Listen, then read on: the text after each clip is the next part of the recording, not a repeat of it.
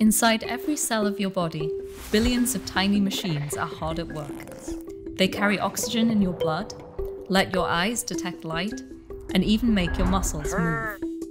These machines are proteins, and they underpin every biological process in every living thing. Each protein has an intricate 3D shape that defines what it does and how it works. We know of over 200 million proteins and counting, but we only know the exact 3D shapes of a fraction of these. Unravel a protein, and you'll see it's like a string of beads made up of 20 different types of amino acids. Interactions between these amino acids make the protein fold, as it finds its shape out of almost limitless possibilities.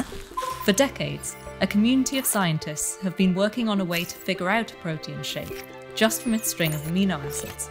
This is a major challenge in our understanding of biology. So we created an AI system to solve this problem called AlphaFold. It's trained on the sequences and structures of about 100,000 proteins, painstakingly mapped out by scientists around the world. Today, it can accurately predict a protein shape just from its sequence of amino acids. AlphaFold's predictions could enable progress in all sorts of areas.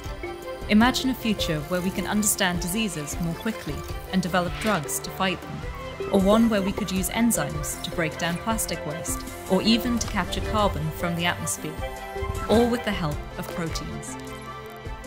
There's a lot more work to be done, but unlocking the shapes of these building blocks could help scientists better understand the natural world, and perhaps expand our knowledge of life itself.